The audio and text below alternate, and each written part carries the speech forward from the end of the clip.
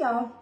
You ever have those nights you didn't lay anything out to cook and it's time to cook and you're wondering, what can I do? Well, I'm gonna show you a recipe that you can make with four ingredients that I just about bet everyone has in their house. I have got some frozen meatballs. Um, the recipe I'm gonna share with you will say Italian meatballs. I didn't have Italian meatballs, I had home style meatballs. They're my favorite, so I have used those. I have got a jar of pasta sauce whatever you like, or even homemade, but I didn't want to thaw out any of my homemade. A can of biscuits, and then the last thing, and I've already shredded it, is some mozzarella cheese. So this is something that you can throw together so quick and easy, and you look like a rock star when everybody comes to the dinner table. So I've got some things, I'm gonna throw this in the trash, done ahead, and I was trying to decide, you, you need to cook it in a um, 9 by 13. So I've got our 9 by 13 cake pan, AKA cake pan, but I use it for casseroles too. And I couldn't decide if I wanted to divide it into two and make two 8 by 8s, one for me and one to give to one of my daughters. But I thought, you know what, I'll just go ahead and make the whole thing. And then that way, if they want something, they got to come over and eat. so I'm going to use our 8 by 8 cake pan with the lid. And the first thing we're going to do in this recipe, and I'm going to share the recipe in the comments, so don't worry about writing any of this down. I put those frozen meatballs in the batter bowl, and I just heated them up a little bit just to kind of thaw them out. And then I've already washed it, but I took our little cup slicer and sliced them so they would be in smaller sizes. I don't, it's kind of, I don't like a big bite.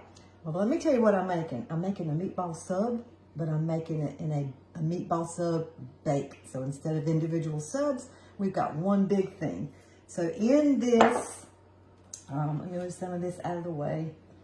What I'm going to do is go ahead and put half of my pasta sauce. And you can eyeball it, and I probably can also, but it gives me a good reason to show you my favorite, one of my favorite tools, the measure all cup. So this is a 24 ounce jar. So I'm going to put half of it in here if I don't splatter it all over me. But this measure all cup is great for scooping things in it like mayonnaise or honey, uh, any peanut butter, yogurt, even pasta sauce. Things like that that you don't want to waste any of and you don't want to have to try to dig it back out of a measuring cup. So now I can just pour that in and scrape every bit of that out. So I love using the Measure All cups. This end is actually for solid and dry ingredients. But y'all see, off the sides, it's everywhere. This end is actually for our liquid ingredients.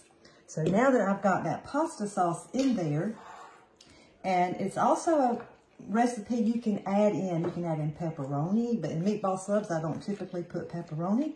I will put peppers and onions, and I had a jar of roasted, fire roasted peppers, and I wanted to go ahead and use those up. So I put them on the bar pan in the air fryer just a little bit to kind of heat them up. So I'm going to add some of those peppers in mine. I'm not going to add any onion because if the grandchildren and one of my oldest daughter, if she sees the onion, she'll go, ew, and she won't eat it. so, oh, I'm sorry, I know that was loud. So I'm going to add that in there. And I tasted, this is my favorite sauce, one of mine, other than homemade. And I'm going to add just a little bit of our Italian seasoning since I was supposed to use Italian meatballs and I didn't. I'm going to add some Italian seasoning. You can add in garlic, onion, whatever seasoning that you like. So at this point, all I have is my meatballs and my sauce. I added in peppers. You can do peppers, onions, mushrooms, whatever you like. And I'm just going to kind of toss this and give it a good stir. And then I'm going to pour it in the bottom of my baking dish. So it comes together so, so quick. I've got the oven preheating to 375 degrees. turn it this way. Let me tilt this camera down so y'all can see what I'm doing instead of me. Okay I think I got you right. I need a camera assistant. All right. I'm going to put that in. And a lot of times when I make monkey bread or garlic bread or pizza bread like this, I'll go ahead and put my biscuits that I've got, you see over here, cut up too. But in the meatball sub, I don't like to go ahead and put them in with the mixture. I like to put them on top.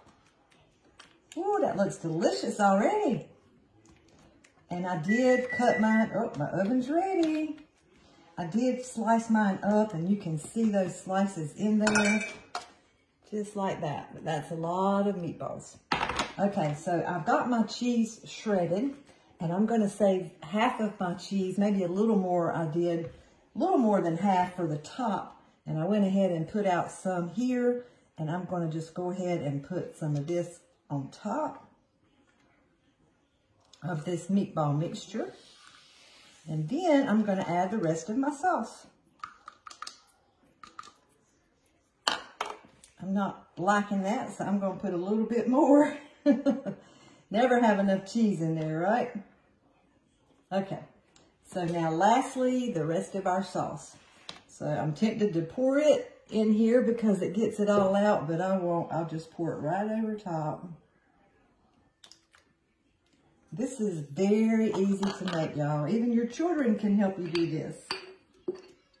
And you know, if the children help you cook, they will typically eat whatever you're cooking. They eat a whole lot better if they have helped you prepare it. And it makes them feel so proud, especially when you're eating it, if you brag on their delicious dinner. It gives them a sense of purpose and a sense of belonging. And I just love to have my little ones help me cook. All right. So now I'm trying to get all of this sauce out, but I don't want to keep you on forever. So I'll remove that. Now next, and I'll show you how I did my biscuits, which you probably already know. I'm, the recipe is going to tell you to take your biscuit. I'll turn it this over here so you can see it. And I've already got them kind of cut up. And we're going to cut it like a pizza. We're going to cut it in eight slices.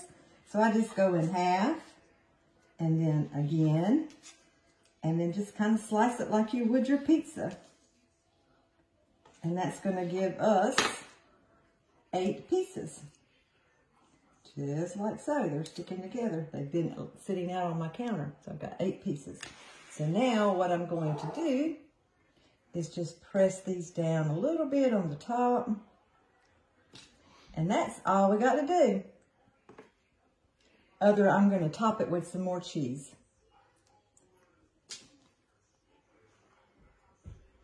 But it is delicious, even though it's so, so simple to do. Um, if I ever, when I worked, if we were going to have a meeting or something, or we all needed to bring a little covered dish, this was one that I used to always take, and everybody loved it and they just think you spent so much time on it, but you, you don't have to tell them, but you really didn't. It's so easy. My husband would like mushrooms in his, but I don't like mushrooms. I don't know why anybody wants to eat those. I'm sorry. If y'all like them, I'm sorry. They stink to me.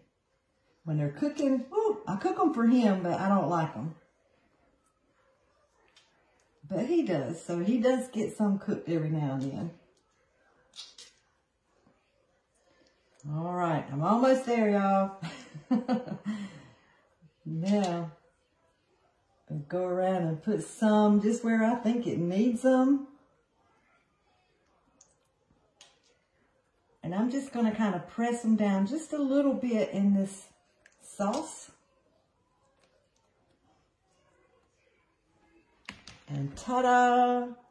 How about that? How quick was that? And again, it's just simple ingredients that I just about, y'all let me know. Do you have biscuits, meatballs, pasta sauce, and cheese? Four things. And then anything else you want to clean out your refrigerator, toss that in here and go ahead and use that up too. It's a good way to clean out some of those things left over in your refrigerator like I did my peppers. So uh, I had some mushrooms in there, but I'm not going to tell my husband. I, I didn't have any. Because he's going to say, where's the mushrooms? All right, so I'm gonna put this in the oven. It is ready to go and it's gonna take probably 20, 25 minutes at the most to bake. And then I will come back on or either put pictures at the end um, so you can see what it looks like. And as always, you'll find the recipe in the comments. Thanks guys, have a great night. Bye-bye. See what I get for telling a story if I said I told my husband there won't no mushrooms. I forgot to put my cheese on. So I just did. I was putting it in the oven and I thought, oh, where's the cheese? So I just wanted you to see, you do, after you put your biscuits on top, you do also top it with that shredded mozzarella cheese. So now it's ready to go in the oven. So y'all stay tuned.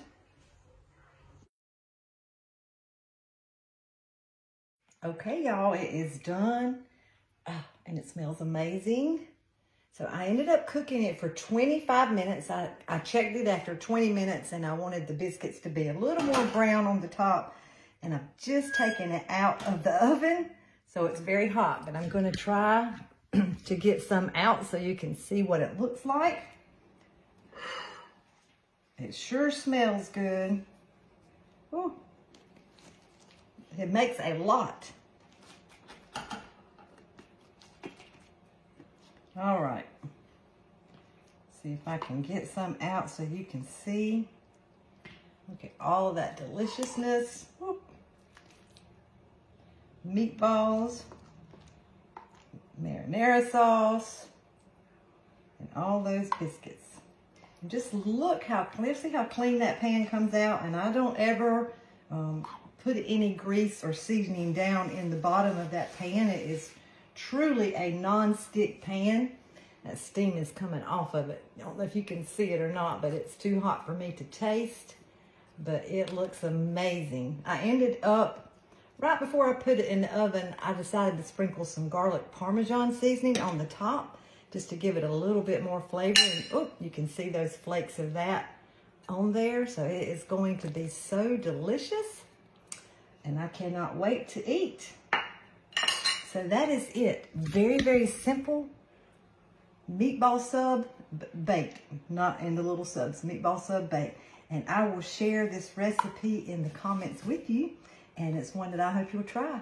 Thanks. Y'all have a great night. Bye-bye.